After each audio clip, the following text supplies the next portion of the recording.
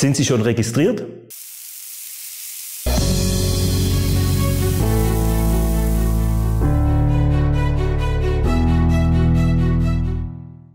Herzlich willkommen, liebe Zuschauerinnen und Zuschauer, hier in unserem Format vom Wissenschaftsgremium.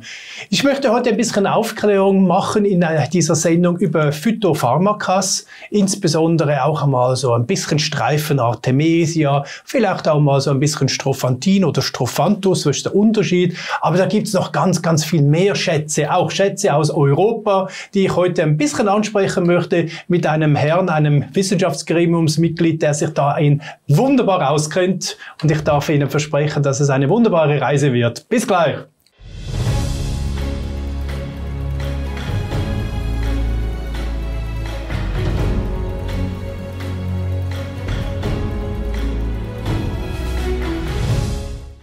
Ja, und da sind wir wieder und jetzt darf ich Ihnen meinen Gast auch zeigen. Dr. Med Kurt Mosetter ist wieder da. Herzlich willkommen, lieber Kurt. Dankeschön ist schon spannend, wenn man eigentlich als Mediziner sich plötzlich noch mit so Phytopharmakas auseinandersetzt und plötzlich sieht, ha, da kann ich doch das eine oder andere Medikament vielleicht über naturverbundene Stoffe äh, behandeln ohne Nebenwirkungen, oder? Klares Ja. Ah.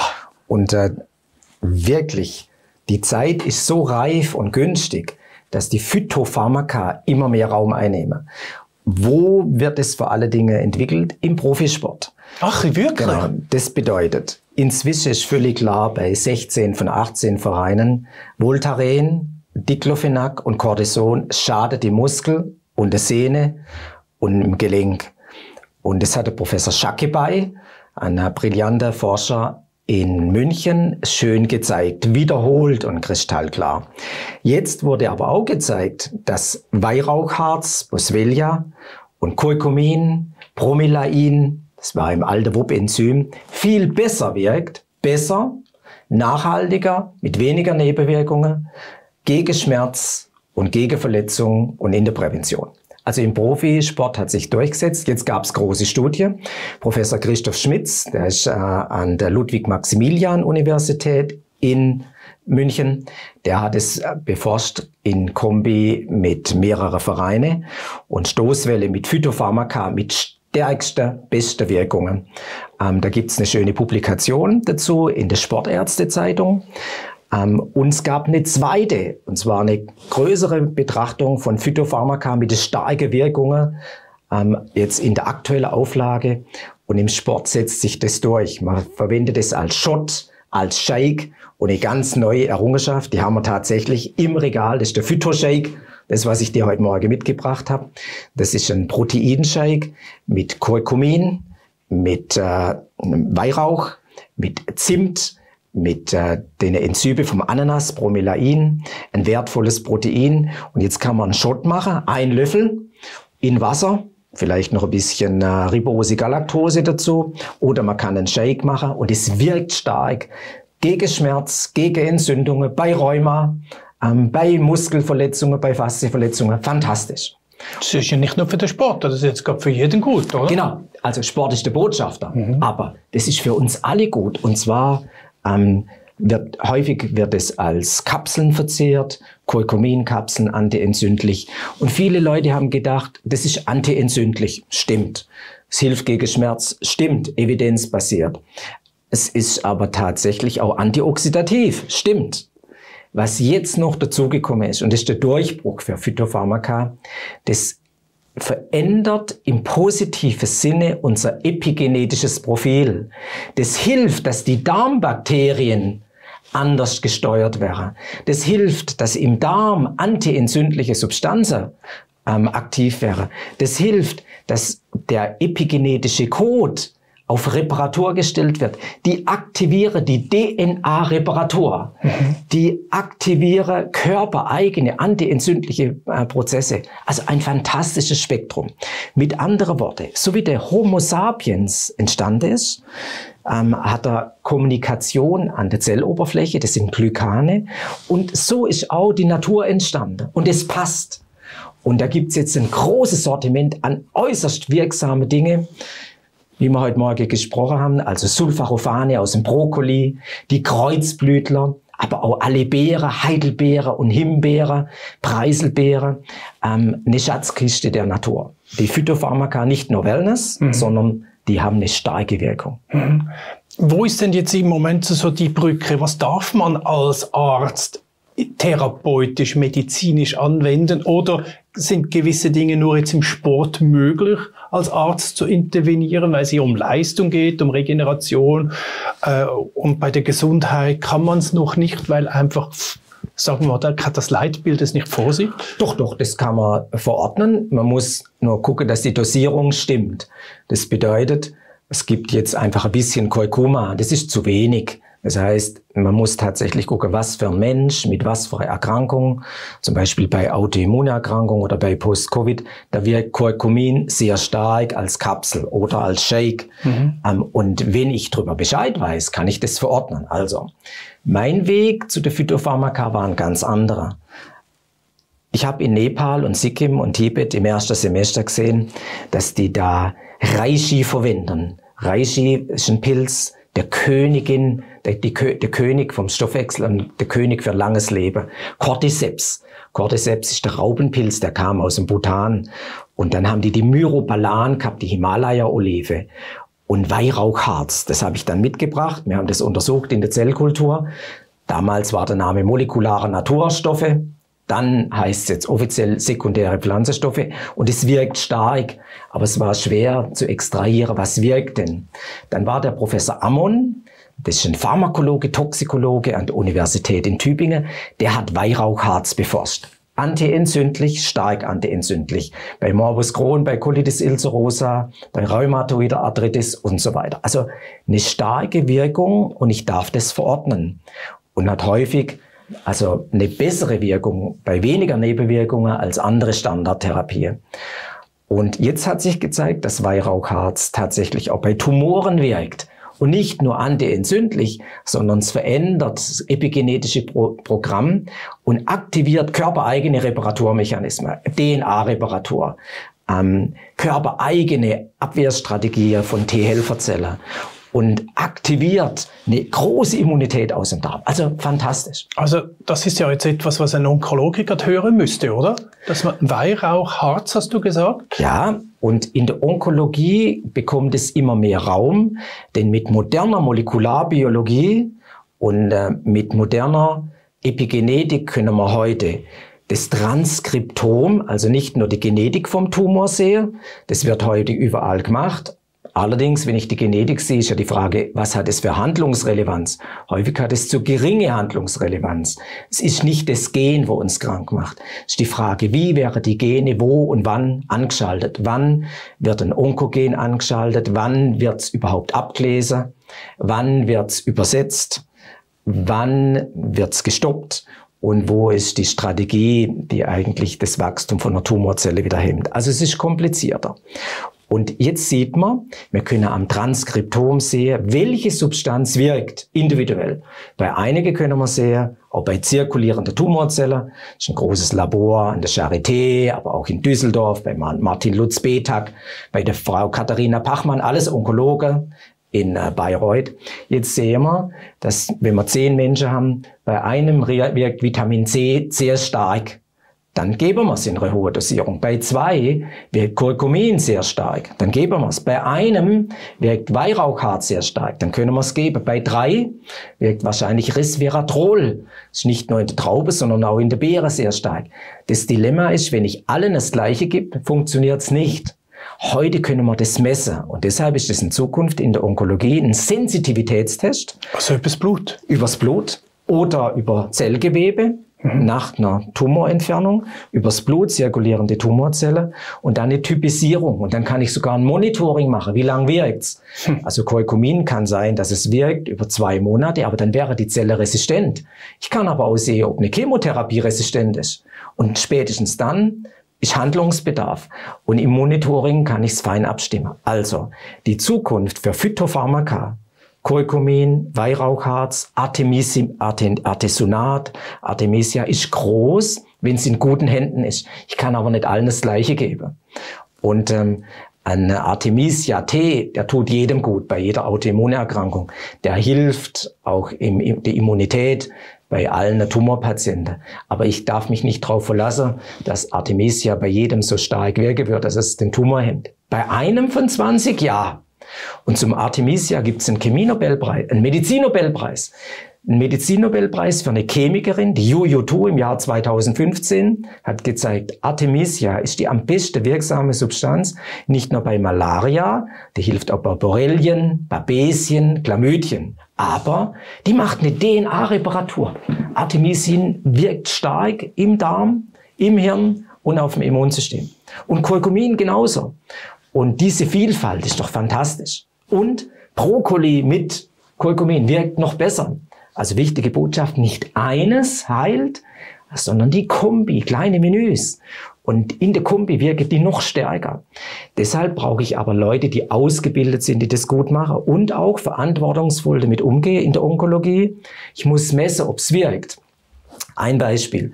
Der Helmut Knorr ist ein toller Onkologe in Richterswil. Ähm, jetzt können wir aber messen, ähm, ob er mit anthroposophische Produkte, Helixor, Iskator mit Mistel, wie hoch er dosiert. Ich habe wenig Erfahrung, zu wenig Erfahrung mit dem Mistel, aber oral reicht nicht aus. Und subkutan, wenn jemand eine ernsthafte Erkrankung hat, reicht auch nicht aus. Also brauche ich eine Infusion innere hohe Stärke, dann ein bisschen weniger, noch weniger und wieder hoch. Aber da brauche ich erfahrene Hände. Also ich kann es nicht, also brauche ich einen Onkologe, der das kann. Ein anderer Onkologe äh, in der Biomedia in äh, Berg Zabern, Matthias Kraft, der hat viel Erfahrung mit Curcumin und mit dem Cordyceps. Aber der untersucht es. Und dann macht er eine feine Abstimmung. Aber das Potenzial für Phytopharmaka ist riesig und am besten präventiv. Je mhm. früher, desto besser. Deshalb war unsere Idee, wenn es im Sport wirkt, bei Ihnen auch, dann ist der Phytoshake überragend. Als Shot oder als Shake fantastisch. Mhm. Ich habe jetzt gerade gelernt, dass man äh, eigentlich mit Messen, Schlucken messen, eigentlich den schulmedizinischen Weg eigentlich geht und sich letztendlich eigentlich äh, aus, der aus der Schusslinie nimmt. Denn wenn man ja weiß, äh, dass der Patient auf Artemisia anspricht oder auf, äh, auf Weihrauchharz, dann kann ich sie auch beweisen. Es geht ja auch immer um die Beweispflicht, dass man ja selber als Arzt nicht angreifbar wird, oder? Phytopharmaka ist reine Wissenschaft. Das ist reine Wissenschaft. Wissenschaft aus der Biologie, Wissenschaft aus der Pharmakologie, Wissenschaft aus der Toxikologie. Und das, was äh, der Professor Amon in der Toxikologie, Pharmakologie in Tübingen gemacht hat, als Pionier vor 30 Jahren. Professor Schagibay, das ist harte Wissenschaft und das ist Hochschulmedizin. Das mhm. ist keine Komplementärmedizin, das ist auch nicht Shishi und das ist auch nicht Naturheilkunde. Naturheilkundler haben natürlich mehr Erfahrung mit der Pflanze. Aber jetzt müssen wir die Brücke schlagen. Und das ist unser Anliegen. Nicht entweder oder, sondern ein Miteinander. Deshalb ist so wichtig die Brücke in die Onkologie. Da gibt's in Hamburg ein großes Mama-Zentrum mit dem Dr. Olaf Katzler. Da gibt's äh, große Zentren ähm, mit der Barbara Meyer, die ist Onkologin in München. Wir müssen uns zusammentun und miteinander Hand in Hand mit allen Betroffenen können wir gute Lösungen geben. Das ist Hochschulmedizin. Das ist Wissenschaft und es ist nicht mehr Grauzone. Messbar, reproduzierbar, aber ich muss mir die Mühe machen, tatsächlich gegebenenfalls auch zu prüfen, was ich tue. Und man darf nicht einfach bei allen das Gleiche machen. Mhm. Mistel wirkt, aber bei einigen nicht ausreichend. Mhm kommt mir ein bisschen vor wie in der Mikronährstofftherapie, oder? Zuerst mal schauen, was braucht er, ja. auffüllen und dann ja. mit Erhaltungsdosis. Mhm. Wie sieht's denn jetzt aus? Es gibt ja auch Stoffe, die sehr, sehr umstritten sind, wenn ein Arzt das nutzt oder ich glaube gar nicht darf. Ich nehme mal das Wort Strophanthus oder Strophantin, ich weiß den Unterschied ja. nicht, in den Mund. Darf ein Arzt mit dem arbeiten, wenn es ganz klar positiv angibt? Ja, also wichtig ist, dass man mit Strophantin und Strophanthus, es war ja ein ganz breit gebräuchliches Mittel äh, fürs Herz, auch bei Herzrhythmusstörungen, bei Tachykardie und ähm, bei einem breites Spektrum an Problemen am Herz. Jetzt ist eben wichtig, dass man verantwortungsvoll damit umgeht und dass man nicht einfach in die Apotheke geht und sich ein bisschen Strophantin kauft. Das wäre gefährlich. Deshalb wünschen wir uns schon, dass es eigentlich in die richtige Hände kommt. Tatsache ist, Vala hat ein tolles Präparat, Vala Veleda, das Strophanthus D4. Das heißt homöopathisch Und da sind wir schon mal auf einer sicheren Seite, homöopathisch D4 und es wirkt schon sehr gut. Das habe ich durch den Viktor von Tönges kennengelernt. Dann kann man ärztlich verordnet, Strophanthus urtinctura verordnen. Aber dazu kenne ich den Patient. Ich habe ihn im, in Behandlung und dann gehen wir miteinander den Weg und dann ist es ein Medikament, was sehr starke positive Wirkungen hat, wie Digitales. Allerdings verbessert es auch die ähm, Sauerstoffverfügbarkeit. Jetzt ist natürlich wichtig, dass ich nicht einen Alleingang mache, ähm, sondern dass ich Hand in Hand mit Experten arbeite. Also eine Brücke, ähnlich wie vorher die Brücke Phytopharmaka zum Onkologe, jetzt auch die Brücke ähm, vom Strophandus zum Kardiologe. Dann gehen wir miteinander die Lösung. Aber man darf es nicht einfach nur so geschwind nehmen. Je besser ich darüber Bescheid weiß, umso besser kann ich damit behandeln. Und der Dr. Viktor von Tönkes hat da ganz viel Erfahrung damit. Und da war ich zuerst einmal schüchtern und Stück für Stück lernt man dann mehr dazu. Aber wir warnen natürlich davor, einfach ein Medikament, ein Antiarrhythmika abzusetzen und dann Strophandus zu verwenden, sondern vielmehr ein kompetentes Team zu finden und dann eine gute Lösung zu finden. Mhm. Aber dann darf ich das ohne weiteres auch verordnen, wenn die Indikation stimmt. Ich darf es nur nicht einfach breit als Nahrungsergänzung rausgeben. Okay, es kursieren nämlich unfassbar viele Gerüchte auf dem Markt. Was ist der Unterschied zwischen Strophantin und Strophanthus? Strophantin ist einfach sozusagen die Wirksubstanz und Strophanthus ah. war eigentlich der Name, äh, mit dem man nach außen. Es gibt also Strophanthus Urtinkture und es gibt äh, Strophanthus ähm, als D4. Das war sozusagen der Name so, aber die Grundsubstanz ist eigentlich dieselbe und die wirkt ähm, besser als Digitales. Mhm. Wie sieht eigentlich äh, mit der Phytopharmakas in der Ausbildung aus zum Arzt? Ist man da wirklich hauptsächlich äh, pharmazeutisch ausgebildet und, und das ist eher so im Nebenstudium äh, sich anzueignen. Leider lernen wir im Studium über Phytopharmaka gar nichts, obwohl über 70 Prozent von allen Pharmaka, die heute im Einsatz sind, hat man dann Natur nachgebaut. Ja, ja, ja, das heißt, super. Der Ursprung ist sowieso die Natur. Wahrscheinlich sind es sogar mehr. Das war eine vorsichtige Schätzung. Ähm, jetzt ähm, ist so, wir lernen da gar nichts drüber. Man muss eher aufpassen, dass man nicht lernt. Vorsicht vor Johanniskraut und Vorsicht vor Beinwell. Mhm. Also ganz ehrlich, äh, wenn ich zwei Flaschen Schnaps trinke, ist auch schlecht und ich will keine äh, zwei Flaschen Johanniskraut trinken, sonst, ja. sonst reagiere ich allergisch. Aber man lernt da wenig. Deshalb ist unser Bemühen, das wieder in ein Curriculum einzubringen, in die Ernährungsmedizin, in Leitlinienempfehlungen für Ernährung bei Immunerkrankungen, aber schon auch Empfehlungen zu messen, was da wirkt. Und es ist wie eine Zusatzausbildung. Für die Sportmedizin ganz klar eine Zusatzausbildung. Wir wünschen uns eigentlich auch eine Zusatzausbildung für alle Ärzte, denn das ist ein riesiges Potenzial bei wenig Nebenwirkung, bei einer starken Wirkung. Und so kann man die Nebenwirkungen, die andere Medikamente chronisch über die Zeit haben, wieder reduzieren. Mhm. Also Zusatzausbildung, Zusatzcurriculum, Pharmakologe, eidgenössische Apothekerinnen und Apotheker wissen sehr gut darüber Bescheid. Und deshalb wünsche ich mir dort auch eine enge Zusammenarbeit mit Drogistinnen, eidgenössische Apothekerinnen und Apotheker ähm, und ähm, den äh, Leute in dem Bereich, denn die haben sich schon lange damit auseinandergesetzt und die lernen mehr im Studium als mir. Mhm. Ich muss sozusagen nachlernen und ähm, lerne immer noch nach und ähm, suche mir auch Bündnispartner mit hohen Dosierungen. Wir machen zum Beispiel bei uns in Konstanz keine Infusionen mit Weihrauchharz und auch keine mit ähm, hochdosierter Mistel. Denn da kann es Reaktionen geben und alles, was ich nicht hundertprozentig gut kann, mache ich besser nicht. Aber dann kann ich die Leute zu den Experten schicken, die das tun. Und dann ist äh, die Biomed, ähm, die macht eben Infusionen. Ähm, dann die anthroposophische Onkologe, die machen tolle Arbeit, auch mit intravenös Misteln. Und ähm, das muss man dazu lernen. Hm. Aber das wünschen wir uns. Hm. Ja, bei der Mistel höre ich immer wieder, dass es eine überhaupt keine Diskussionen mehr geben sollte aufgrund den Studien, dass die eine Wirkung hat bei Krebs. Ja? Ganz klar. Und jetzt kann man es noch spezifizieren, indem ich teste, auf welches Produkt Helixor oder Iscador oder auf welches Produkt und auf welche Zubereitung und auf welche Mischtel ich am besten reagiere. Es kommt am Schluss, auch da hat Rudolf Steiner recht gehabt, manchmal ist eben die Mischtel vom Apfelbaum, manchmal ist die Mischtel von der Ulme.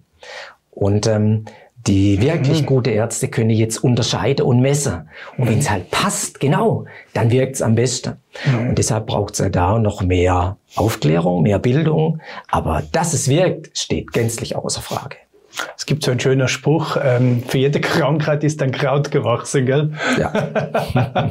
der Dr. Mutter war einmal da, war, ging da runter und hat Löwenzahn gesammelt. Ja. Ohne was, weil er sagt, Löwenzahn ja. ist so wichtig. Genau, jetzt zum Löwenzahn. Der gemeine Löwenzahn. Taraxacum. Da hat die Firma Ceres ein tolles Mittelchen gebaut, Taraxacum Compositum. Da ist noch die Mariendistel drin. Das wirkt richtig stark. Also deshalb mein Wunsch an Sie, nützen Sie Phytopharmaka, gehen Sie in den Garten, nehmen Sie Kräuter, nehmen Sie Pflänzchen.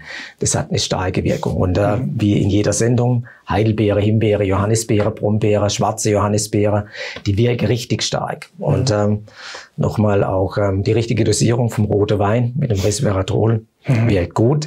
Und äh, die Variabilität von der Phytopharmaka garantiert die Variabilität von der Diversität im Darm. Und die Diversität im Darm, die hilft wieder der breite Gesundheit. Das heißt, die wirken ja an mehrere Stellen. Und ähm, das ist eigentlich das Fantastische bei der Phytopharmaka. Du hast jetzt zwei, dreimal auch noch äh, eine Depotenz erwähnt und da ist ja eigentlich physikalisch nichts drin, sondern eigentlich nur eine Information. Ja. Ich habe manchmal ein bisschen Probleme, das zu verstehen. Äh, aus der Quantenphysik verstehe ich es, aber dass es dann trotzdem eine Information von Strophantin oder Information von sowas im Körper eine Wirkung hat, das finde ich irgendwie verblüffend. Das ist die Frage vom Blickwinkel. Und ich, ähm, ich argumentiere jetzt mal eigentlich sehr geschickt und klar. Alle unsere Zellen haben eine Oberfläche mit Zuckerchen wie die Landschaft, wo ein Wald draufsteht. Und die Zuckerverästelungen sind lebendig.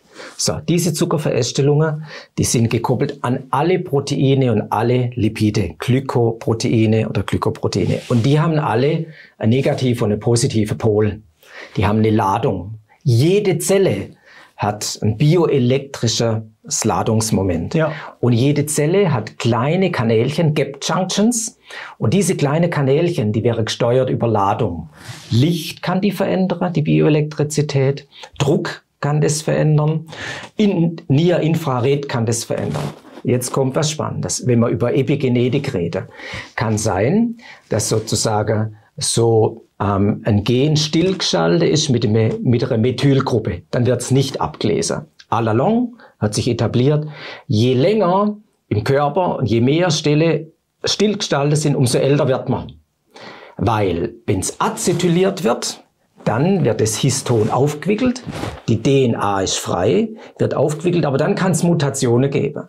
Dann kann das geschädigt werden.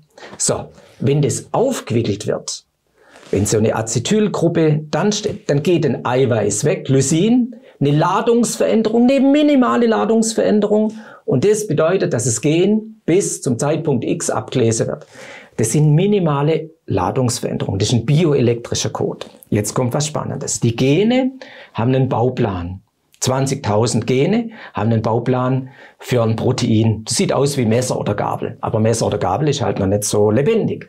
Das Protein selber wäre gänzlich funktionsunfähig. Proteomics.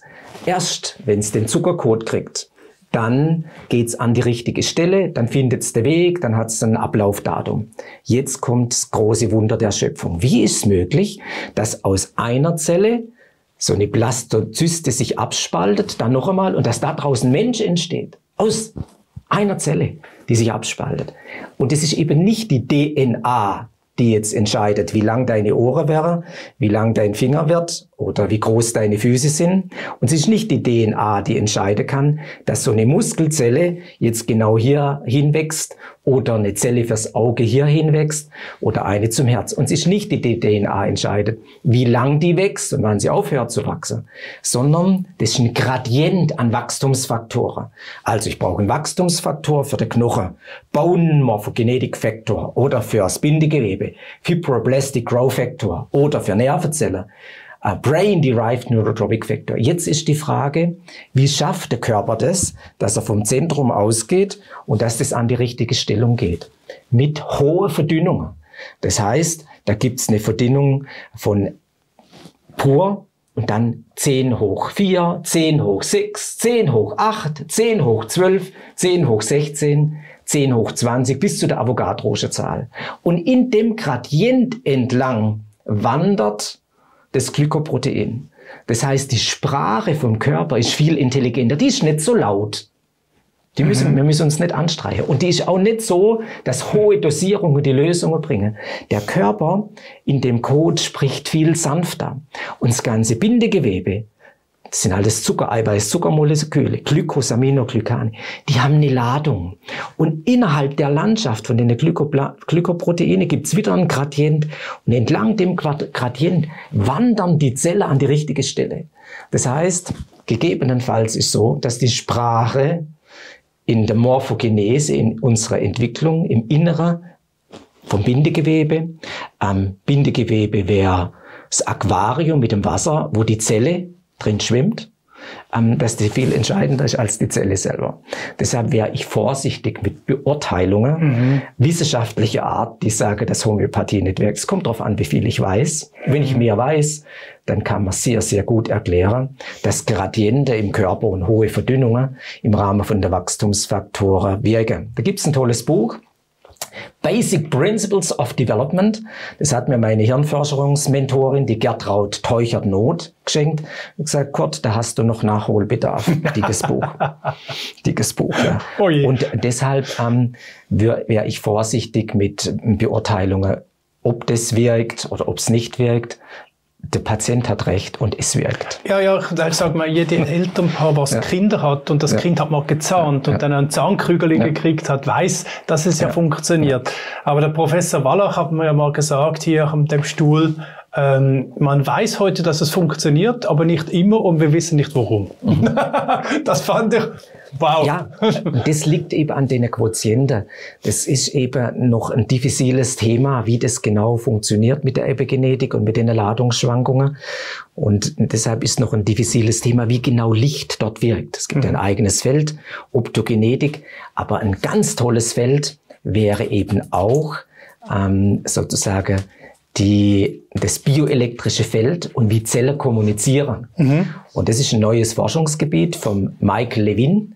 Der Michael Levin ist ein Genie, Mathematiker ähm, und ähm, der ist, glaube auch der ist auch Molekularbiologe und die zeigen mit ganz vielen wissenschaftlichen Papers, dass unsere Zellen wesentlich intelligenter sind als gedacht und dass diese Gradiente ähm, tatsächlich mit dem morphologischen Code im Bindegewebe ähm, aktiv sind.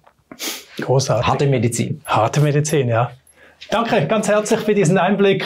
Dr. Med Kurt Mosette war das. Jetzt gerade zusammen mit unserem Studiohund Otto, der sich auch noch kurz zeigen wollte. Hallo, hallo, hallo. Ich hoffe, wir konnten Ihnen ein paar wichtige und schöne Informationen geben über die Schätze der Natur und wie die heutzutage auch immer wieder mehr und noch mehr wieder in die Medizin mit eingebracht werden. Durch Messen, durch Testen, durch Schauen, wo es ist die, welches hat die richtige Wirkung und nicht einfach nur blind in einem großen Spektrum draufschießen, sondern wirklich gezielt damit zu arbeiten. Und das finde ich echt schön. Alles Gute, bis ein anderes Mal und auf Wiedersehen miteinander.